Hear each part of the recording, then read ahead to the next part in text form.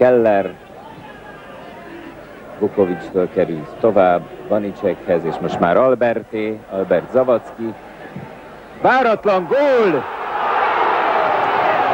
Tulajdonképpen a védő lába alatt, és Hámori a másik sarokban állt, későn vetődött, és a belső kapufáról pattant a túlsó sarokban a hálóba a labda. Kettő egy a Ferencváros javára, tehát Zavacki góljával.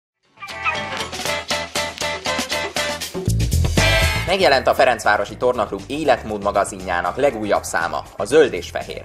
Keresd az újságárusoknál vagy a Fradi Shopban. Tájékozódj az előfizetés részleteiről a fradi.hu-n. Zöld és fehér, e két szín mindennél többet ér.